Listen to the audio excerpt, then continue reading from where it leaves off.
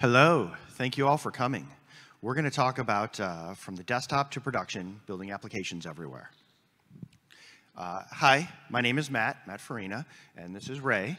Uh, we work at SUSE on some fun tools that uh, you might all want to use. So the first thing I want to talk about here is that development happens on the desktop. Um, you know, with the advent of so many different kinds of technologies, uh, you just see that developers are able to get on their workstations and code away. Um, same thing with DevOps and uh, just different technologies like this. This slide shows you the some results from the Stack Overflow survey, the most recent version. You're going to see I zoomed in on professional folks and just everybody to look at it, and you can see uh, IDEs are everywhere. Text editors are everywhere. I'm still shocked at the number of people who use VS Code, um, but you can just see there's a long list. And, and if you add up the percentages, it's well more than 100% because people use multiple tools. Uh, but you can see the desktop is a place where a lot of stuff happens. And you can even see with the, the new computers coming out, the amount of power in them, what you used to not be able to do on your local desktop environment because you didn't have the resources, you get more of that now with the latest systems, whether you're on a Mac or even in Intel chips and AMD chips with the latest processors and the ability there. And yes, there are online editors. Uh, this editor here is a snapshot of what you get on GitHub. If you're logged into GitHub, you can just hit the period and get right into an editor or go in, and you get an online editor. And there's a number of these out there where you can code online. Uh, you can even use an iPad with a keyboard and do certain things there.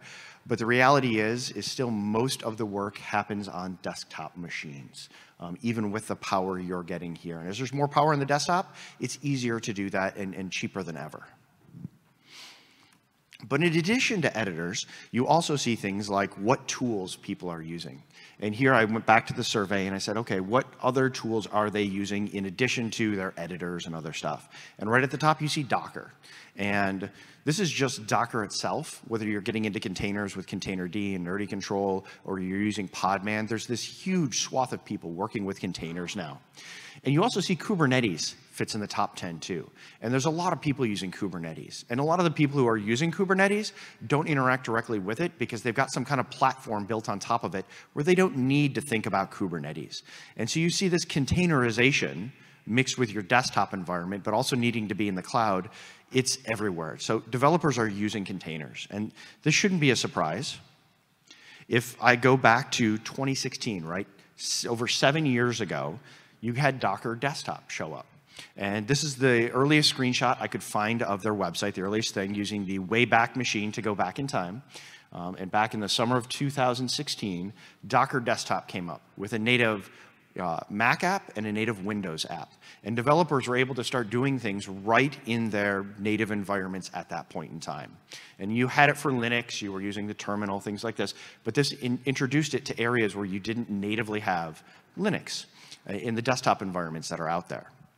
And so it's been around for a while. But it's not just containers that have been around for a while. Desktop applications have been around for a while that let you do Kubernetes.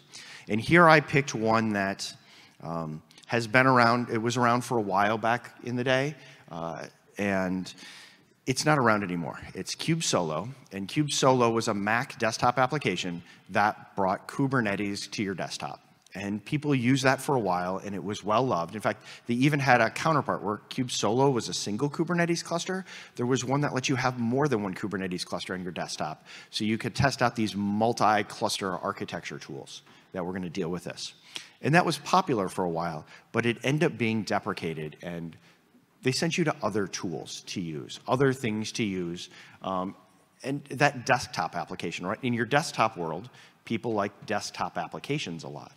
Um, and so we see that. And so we entered this phase in you know, Kubernetes desktop history where we went to the terminal applications. And people worked in terminals a whole lot. And we'll explore that in a minute, but we kind of backed off the desktop application that developers like. And if you remember from a slide, few slides ago, you had VS Code at the top, right? I'm sorry to say it wasn't Vim or Emacs or Pico or something like that, people like those desktop editors, right? And Visual Studio was right behind that. And you get things like Sublime Text and Atom. Those, those visual editors are the kinds of desktop applications people like. And so we went into the terminal-based app, and you had things like Uh, Minikube. Minikube is a Kubernetes subproject, and it has been actively developed for a long time, right? And the primary way it works is by using Docker under the hood, right? It expects a Docker socket. It works with a Docker socket. It can use other tools, right? On Mac, it can use HyperKit to create a virtual machine. Um, but that even gets into some shaky grounds these days because HyperKit hasn't been developed in a while and it hasn't had a commit in well over a year. And that's the interface on Mac OS to create those virtual machines. And on Windows, if you're going to use it there, you have to have some outside tooling in order to um, get that virtual machine things up, right? Like something like VirtualBox, or you have to be using Windows Pro and have its built-in capabilities with VMs in order for it to work. And so there's all these outside expectations in order to even get up and running with it which is where I need to sidebar on Windows for a minute. And I'm curious, does anybody in this room use Windows as a development tool? All right. Um, I don't see a lot of hands here, but the reality is a lot of developers use Windows. It's still the majority, and you can see that here. And they're not even using the Windows subsystem for Linux when they do that. So when we go out and we want to create local development environments for developers, we can't just think about you know, Linux desktop or Mac OS environments. You have to think about Windows as well, especially in companies where maybe you have a mixed environment. Some companies are letting people choose between Windows, Mac, and Linux as their desktop. And how do they all develop together? And then there's tools like Kind came out, right? And people in here may be using Kind as their development environment, but it was actually designed to test Kubernetes, and it requires Docker again right?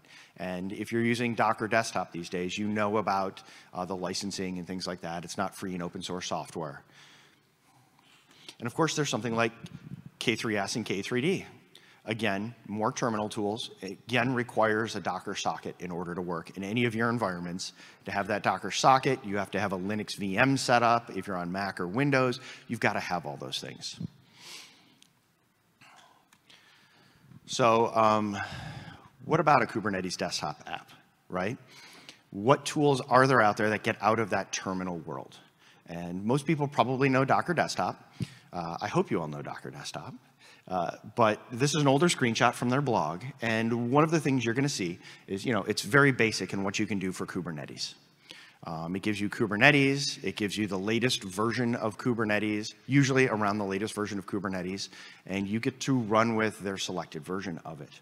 And you get a few kind of settings around that, but it does provide a Kubernetes environment where you can work. Of course, it also has licensing things where if you're at a company, there's stuff like that. But if I think about it, with Kubernetes, uh, you're not using the latest version probably, right? If I look at the public cloud providers, usually the latest stable version is probably the oldest community supported version. Companies are usually behind in versions of minor versions of Kubernetes that they use. Uh, this is a screenshot from the Kubernetes blog a few years ago, and it highlights the versions from back there. And at the time, you can see, you know, two minor versions back was peak usage. And this isn't unusual. And so you take a Kubernetes desktop application, and if it's on you know, Docker Desktop, then the latest version of Kubernetes, and you're using an older version, you may run into differences. In fact, I've actually run into bugs that showed up in my Kubernetes version that was in production that I didn't experience in my desktop environment. And so it, everything worked great in dev. And then you moved it to production and something broke because of an, a bug or an API addition, something like that that had happened that I was using I didn't know about. And so this is where you can kind of run into some issues, right? You want to match your development environment. You want to match your QA environment with production. And a lot of this is what led us to create uh, Rancher Desktop. And this is one of those things a few years ago that I started. Rancher Desktop, the idea is to be able to um, have a Kubernetes native experience, right? If you're going to work with Kubernetes, develop for Kubernetes, do container work, things like that. In fact, it started as uh, start with Kubernetes. And so it's got container management capabilities we're going to touch on in a minute. But it started with the Kubernetes part of it more than anything else. And here you can see on the screen, you can pick your version of Kubernetes, and you can choose any version of K3S that's pretty much out there and switch between them. And so you can match that development environment with your production or wherever you're going to go environment. Because creating that native experience is one of those primary things that I wanted to have as a developer so I could get past those bumps in the road. Now, the way it works is you've got a desktop application that runs on Mac, Linux, and Windows. And the way it works is on Mac and Linux, it's using uh, the Lima project, um, which uses QEMU under the hood, although they're starting to work with um, some of the native Mac virtualization. And you've got either Containerd or Dockerd. And Dockerd is provided by the Moby project. And then you've got Kubernetes K3S layered in on top. And K3S is the version of it you want to work with. And then on Windows, um, it's actually, instead of wrapped in a VM, it uses the Windows subsystem for Linux, uh, which Windows kind of manages the VM for you. And you can get in there, tinker around, things like that. But it also means you don't have to have a version of Windows that has extra virtual machine management on it. You can use it on Windows Home. You can use it in the basic environments. You can use it anywhere.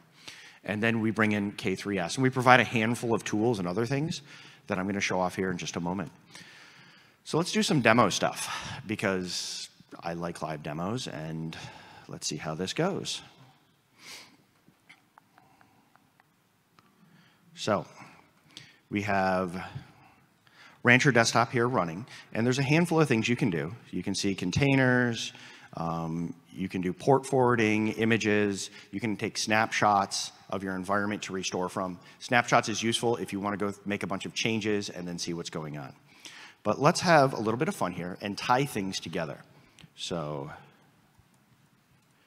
I've got a demo code base here, and I'm going to open it in VS Code. And let's see, can you see that?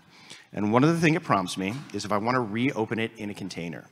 And that's because you have something called dev containers in VS Code. And dev containers lets you work inside of a containerized environment. And this is one of those things that I find really helpful because I work on teams where I'm jumping between Windows, Mac, Linux, and you want to have the same development tools, same development environment, you can containerize that and you can work inside of a container. You can supply those tools. It doesn't need to muddy up your system. If you've got a specific version of Node.js or Python and you want to tie to that, it lets you couple those things together and then share that environment. So let's go ahead and fire this up and see what happens. And so I go ahead, and this is a Go application, so I'm going to run it. And it detects, hey, there is um, there's a, it's opened up a socket. Do I want to open this in a browser? And I can. Hello world. What it does is piped out and it just works and ties in with the local system. And here we're using, it uses a Docker socket because I set uh, Rancher Desktop up to use Dockerd provided by Moby with the Docker CLI, so it's the same tools you're used to. But you can do those things. Now I can come back here and make a change.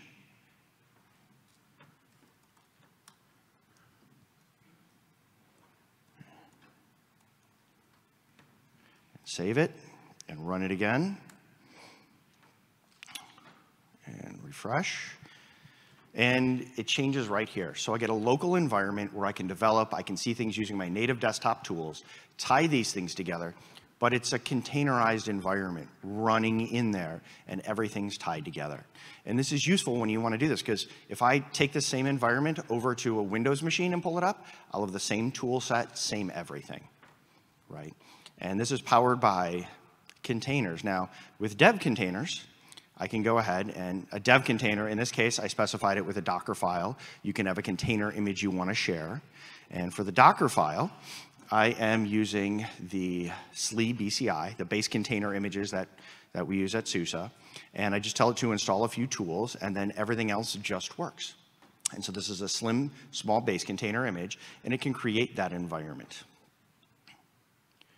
Now, let's go take this and take it over to Kubernetes.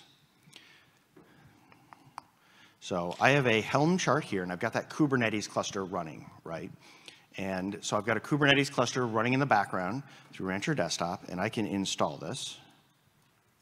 I'll clean this up.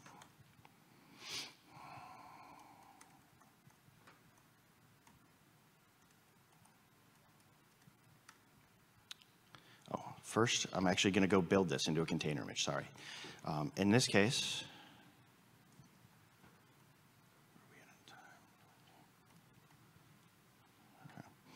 so I'm going to go ahead and build a container image here. And this is taking a base container image, it's building it. It's done because I downloaded the images. And so it built my, my thing into an application here. And so I've got a Helm chart here for my application that I've been working on, right? And I haven't pushed this container image anywhere, but I want to work with this in the local environment. So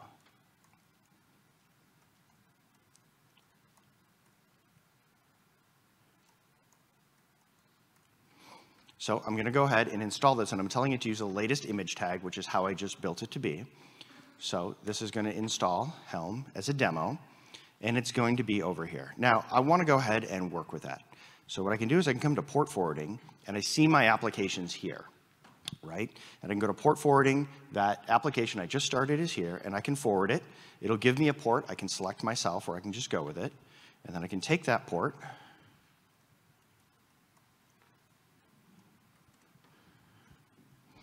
and I can work with this. Now, since this is all in the local environment, right, if I go make changes to that and I kill the pod and it refreshes, it'll actually grab the latest container image. So I can do my development, I can kill it, I can refresh, and everything's right there. And it's all tied together in my local environment. And this works this way on Windows, Mac, and Linux. Now, I don't just have to do this, right? I can go ahead and do some other things that are really useful.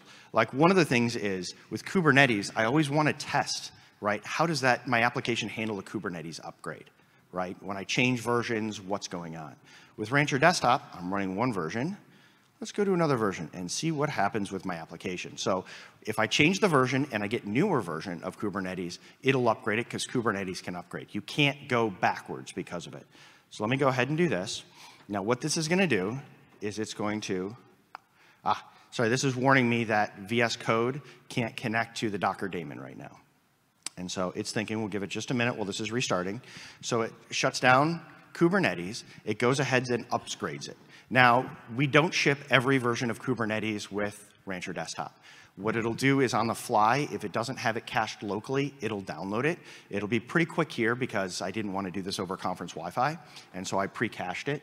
But any of those versions are available because it downloads it. And so here, it's going, it's starting up the virtual machine, it's going to bring up the new version of Kubernetes, and those same applications are going to be right there on top of it, so you can see what that environment is like. And so it's starting the back end up, and that's where it'll bring up something like Dockerd. Now, while it's doing this, I'll actually show you around some of the, the settings here. So you've got things like Kubernetes. You can also set your container image between Containerd and Dockerd provided by Moby. Uh, Dockerd lets you use things that require the Docker socket, like VS Code and those other things, and the Docker CLI. If you're using uh, Containerd, you have to use Nerdy control as the CLI to pull off those same kinds of things. You can also change things like in Windows and Mac, or sorry, uh, Mac and Linux, you can set your resources and other stuff. So you can configure what resources you need, you know, for memory and uh, CPU count based on your system. On Windows, that's actually handled for you. And you can do things like specify your volumes and networking and other characteristics here. So while the out-of-the-box works well for this, and of course you can come here and you can actually see the containers that you have running. And you can do actions on those. You can see exited ones, you can see um, you know, the containers that are here, and you can stop them, you can remove them, you can do stuff like that. So if you don't want to jump into the Docker CLI, some of these tools are there for you. All right. Let's see. So everything is back up now, and we can come back to port forwarding. Now, when you restart, you lose port forwarding, but we'll go ahead and bring that up. And I can go see what my application looks like on the other side. And everything came up. And this is one of those things that you can test yourself, those upgrades and upgrading Kubernetes underneath, whether it's a minor version or even a patch release of Kubernetes to see how your environment handles that setup.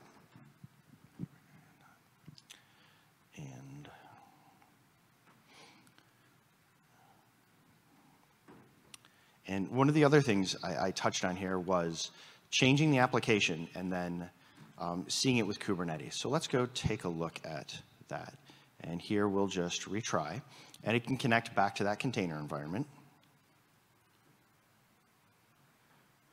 And we'll say this back to, we didn't like the change, so we'll go back to this. And then I'll come build it.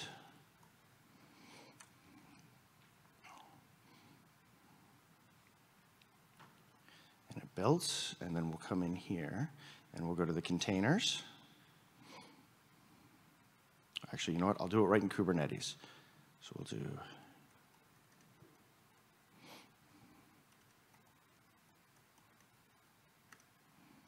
we'll delete this pod. And so the pod deleted. And we'll see a new pod came right up. Oh, yeah, I saw it. Did I build it? And so the pod came up. And so I can come over here and that same port forward, I can just refresh it and because it restarted and the image was locally. Now, if I'm happy with everything, I can use Docker push, all of those things to push it to the registry. But it lets me have that local development environment around my application and containers, and there's a lot of neat ways you can do that. Now, one of the things that I touched on here was container images, right? What do you use for your base container image and where does that go? Because I think base container images make a huge difference. I mean, some of them are riddled with, you know, hundreds or, or more CVEs. There's problems with them um, from a security aspect. In this case, one of them that I want to touch on here is what you'll see here. Um, I've got a Go and a um, another BCI called, or base container image called micro. And I think your base container image makes a difference in your experience of doing things, whether you're creating a secure environment uh, with the tools that you're going to have and those kinds of things. So let me come back to the presentation and dig a little bit into base container images. And so a base container image here, I grabbed it from the, the Docker glossary, right? It's the image that has no parent image. It's that foundation on what you're going to use for your images. Um, you know, it's from scratch, so to speak. And there's various types of base container images you can use. There's Scratch, which has nothing in it. And that's great for some applications. If you're building something in Go and you don't need to have another tool in there, that's a great way to have it. Um, there's Distroless, which just has kind of an operating system not tied to a distro with certain things in it. Um, you find a lot of the distro ones have security vulnerabilities and things like that. And then there's ones based on an operating system, minus the kernel. Uh, and you'll see a lot of those. You might see Debian ones or Ubuntu ones. So we have something that we use called the SLE BCI, and it's a terrible, it's, you know, acronym soup. Uh, it's the SUSE Linux Enterprise and the base container images. And they're the ones we use as the foundation for things. And they're based on SLES 15, uh, 15.5 now. Um, and what's really unique about these is uh, the build system that's used to build them. Um, that's designed to deal with common criteria EAL 4 plus, and if you deal with stuff in Europe, you know that that is um, crazy requirement system as far as build security uh, and keeping CVEs out and that kind of thing. It's the only Linux distro that has this capability for secure supply chain. And that meant doing things like SLSA level three was just, uh, it just works. In fact, under the old system with SLSA level four, it also just worked um, for anything that was build system related because it has to go so far beyond. And CVEs are fixed like that because you need to have that in these kind of environments. And so I run this thing against Trivy all the time and see no CVE show up, even though Trivy knows how to look at them. And so we have a bunch of base container images, and this shows a little bit about their size and what's in them. Um, because we've got different ones. And so I'll use things like BusyBox or Micro because it takes things out that I don't need. If I don't need things like a shell and some of the other stuff. But these are the base container images we use as the foundation for what we're using, and anybody can use them. You don't have to, you know, be a SUSE person. These are open for anybody on the internet to use as their foundation, and they're secure. And we don't just have base images, we also have images for the different programming languages, and they come out anytime a CVE is fixed in any of these things, anytime the base images, everything's there. And so we can build our Node.js stuff or use it as a runtime. We can build in Rust and Go, which we do, and our foundation is always, you know, CVE free and built with a secure supply chain. And it's the same thing you all can do too. And you can get this stuff over at uh, registry.suse.com. But I think that that base image is part of the developer experience, and having one that is by default secure and by default handles these things is a really useful tool when you want to have whether a development environment or for build or for anything else. And so with that, I'm going to pass it over to Rey. Hello, everyone. I'm, I'm here to talk about Platform as a Service with Epinio. But before we talk about Epinio, I want to set the stage. Uh, Kubernetes is hard. So for a developer to deploy uh, their source code uh, onto a Kubernetes cluster, they have to first build that container image using something like uh, Docker build or Podman. Then they have to create uh, the, the, Kubernetes manifest uh, for their application. Then they can deploy a, a pod for their container. they might want to scale their pods, so they might to, or control the rate of upgrades or scaling. So they might have to add a deployment. Uh, they might have to they want to reach their application from outside the cluster, so they want to add, add a service, or an, also add an ingress, so you get that URL that will route to the service, that will route to the to the pod, that will route to the container, that pod. Or if you if your application is persistent, you need that persistency resources. If you're using a, a, a CNI driver uh, or a plugin, you need you need a storage class that will that will create the PV. You have to create the PVC that will dynamically create that persistent volume. The whole point of this Kubernetes is hard. It's so hard that the Linux Foundation actually has a certification called the Certified Kubernetes Application Developer. Uh, if you were at this morning's keynote, uh, one of the panelists actually uh, said that the, the reason, the key to success for developers uh, to go uh, to, uh, for their experience was to they, they did not have to know about the infrastructure. They just, they knew that it worked. So we bring it, and there's here's some a few tweets about PaaS on Kubernetes from Kelsey Hightower. Uh, one is the uh, I'm, I'm convinced that most people want to just have a PaaS, but the only requirement is that they have to create it. The other one is Kubernetes is a platform for building platforms, uh, so it's a better place to start, but not an end game.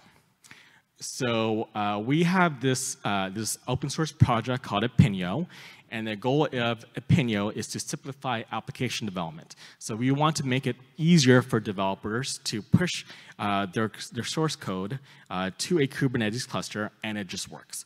So we say that from code to, your, to URL uh, in one push. Uh, we'll go into details of Epinio in the next few slides here. Uh, the reason is because Epinio uh, adds needed abstractions and tools so that will actually allow developers to use Kubernetes as a PaaS. So a little bit more about Epinio. It's an application platform on Kubernetes. It's a single step push, and we'll go into great detail of that single step push. It also adds in some self-service pr provisioning as well if you want additional services. There's a CLI which you install on your developer's machine. That CLI is used to help deploy the application. There's also an Epinio server that you deploy on Kubernetes. There's also UI to help manage uh, those applications that you deploy uh, onto the Kubernetes server.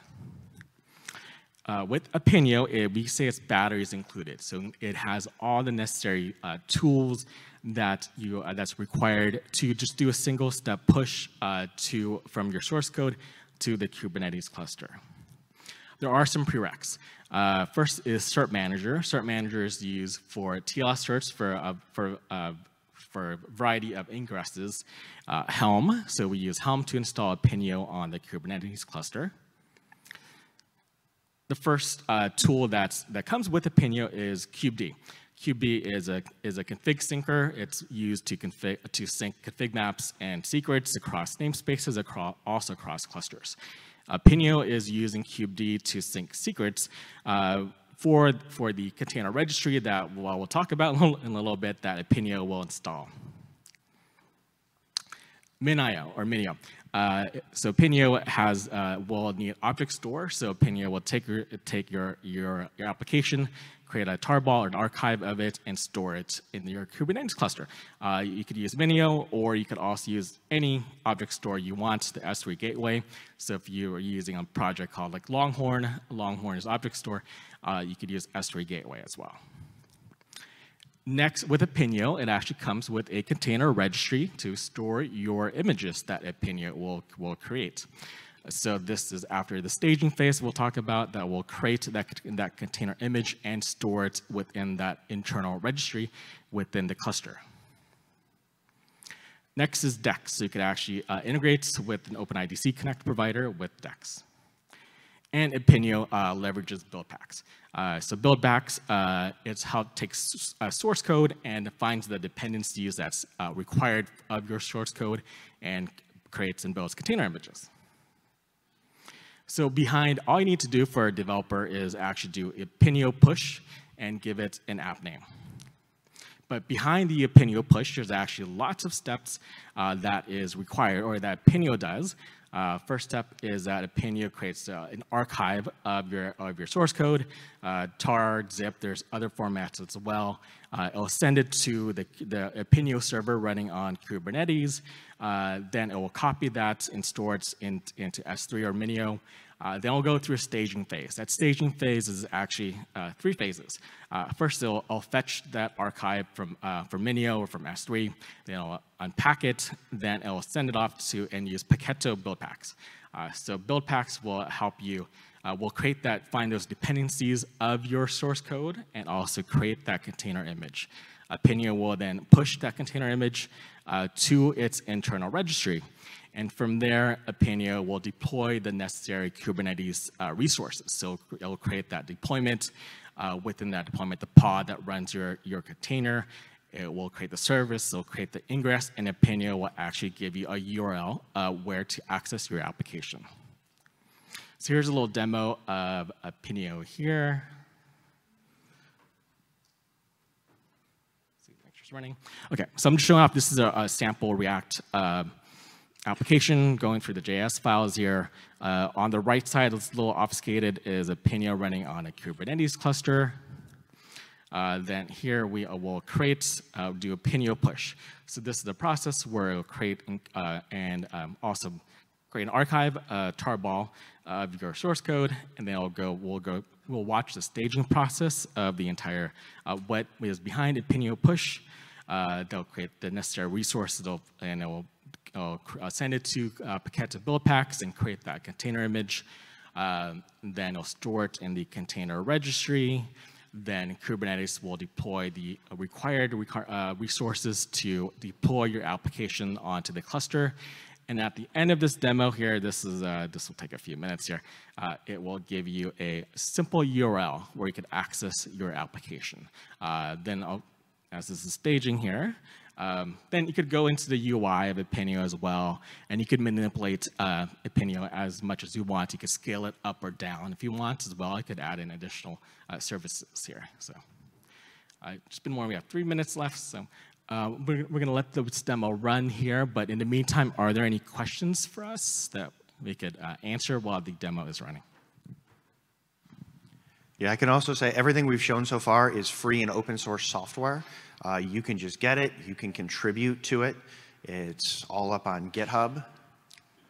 Uh, you have a question? Yes, all the slides will be up on Sched. Sorry about that. Yeah. All right, demo's still going, still running the uh, the build pack, uh, the staging process. So we're still generating that that container image. Then uh, well, at the end of this, we'll get a nice URL that we could take a look at our application.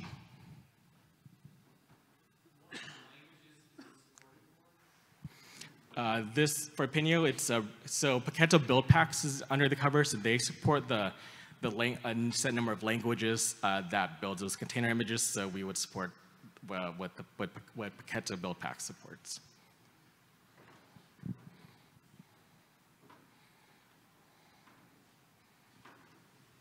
Are there any, any other questions? questions?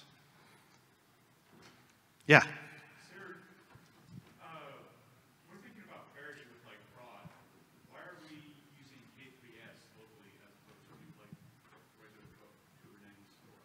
Ah, that's a great question.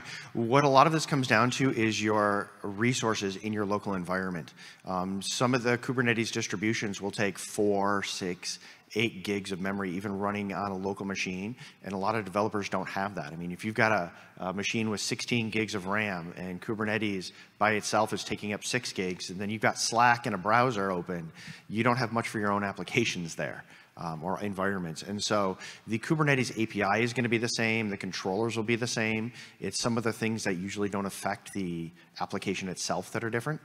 Um, if that makes sense. If, if you really get into some of those things, then you might even be worried about uh, the host operating system and kernel modules. And, and if you need something like that, you're going to have to go a, a step beyond with your environment. But that's why K3S, because it fits in a tiny environment. But it still is the exact same controllers and other things that affect your app.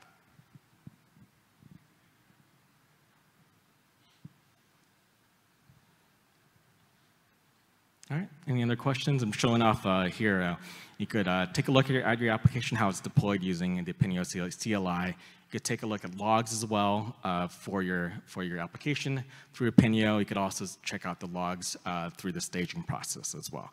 Uh, and the last step is deleting the application from the cluster, and it will and the check on the Epinio CLI to make sure that the application is deleted. Want to thank everyone very much. Looks like uh, we are at the end of our session. And if you have any other questions, feel free to stop by the SUSE booth and ask about any of these technologies, and somebody there can answer more questions or maybe even show you a demo, that kind of thing, and go further. Thank you.